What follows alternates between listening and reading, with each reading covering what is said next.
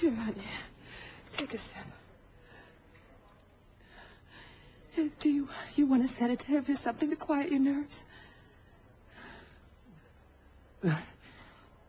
I protected my Theresa for so long. And now to think that Julian Crane... Oh, God. I should have stretched his eyes out.